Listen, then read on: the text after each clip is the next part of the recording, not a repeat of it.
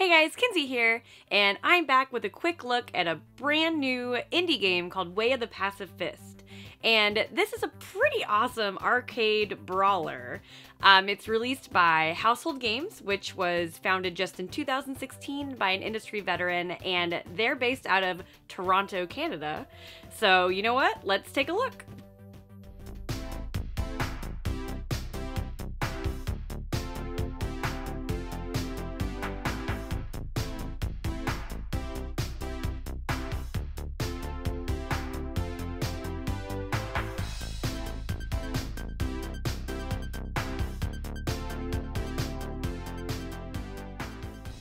So this is Way of the Passive Fist, and it looks awesome. I dig the retro style so much.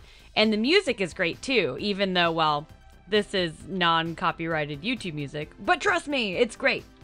And one of the first things I noticed about this game, well, besides the looks and the music, is this awesome, like the difficulty scaler that's on here. It's so in depth, and I just think it's so awesome. You can adjust the enemy strength and that could just be like enemy attacks will be weaker or stronger, things like that. You can adjust encounters, so meaning how many enemies you face at a time. Uh, combo masteries, and this one was actually really helpful for me where it counts like late parries and things like that because not knowing like too much about this game, I wasn't so sure my timing was gonna be perfect, and it wasn't.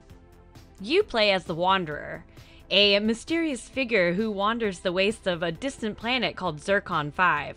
And it was a once prosperous planet, now a post apocalyptic wasteland. And you have studied the way of the passive fist, meaning you don't do any of the actual attacking here. This is, you have to parry and dodge and dash and shoulder check to basically, you know, outlast your enemies. This is the way of the passive fist. So you're not doing any punching and kicking and beaten ups like you would normally would in this style of game. But I think it's kind of cool because it is a different take. It isn't just another brawler, which is cool. Um, so the whole point is you are trying to outlast your enemy. So the more you parry, you can put down their exhaust gauge, and eventually you can just push them over. Well, I guess there is a little bit of punching and kicking. There is a pretty fun combo system in this, and that way you can do like a devastating power punch is the first one that you get. And some of these attacks are pretty sweet and very useful, especially with the bosses. And speaking of bosses, like a true retro style beat 'em up, this one has no shortage of fun, crazy characters. No more books!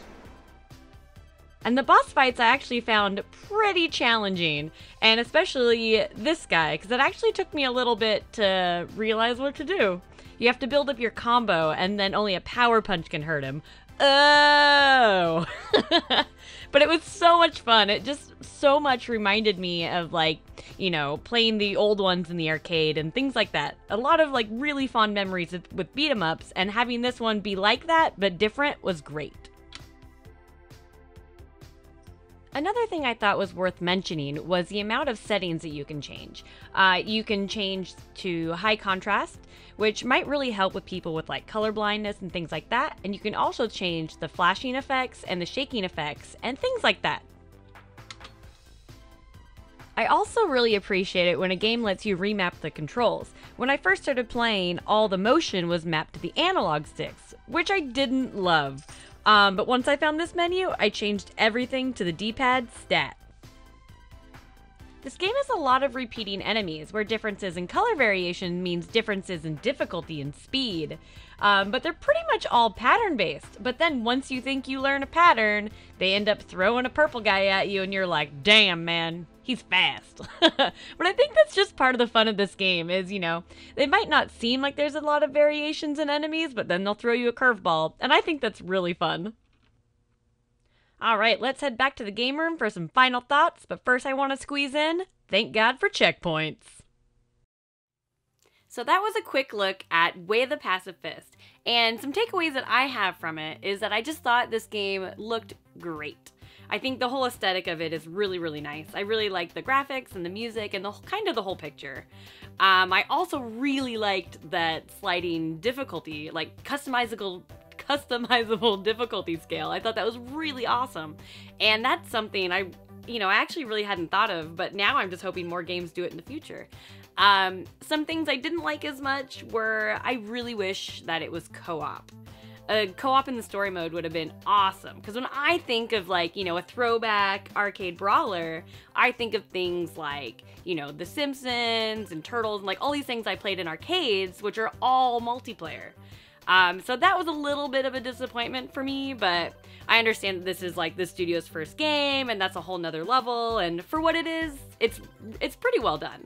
Um, another thing is that I thought it was pretty difficult. um, but then again, you know, I'm not really like a Dark Souls or even a Punch Out person. But if you are one of those people, uh, learning enemy patterns and timing and things like that, then, you know, this game is probably right up your alley. So, but when also when I say it was difficult, um, I don't think that it was like cheap or unforgiving or really anything like that. So, you know, don't let that stop you from getting it. Um, but overall, I did really like it. It looks great and it's only $14.99 on PlayStation 4, Xbox One, and Steam. So, I mean, at that pr- price point, it's definitely worth a look. And you can find me on the internet at Kinszilla, K I N S Z I L L A, on Facebook, Instagram, and Twitter. And thanks so much for watching, and thanks for subscribing. Cheers.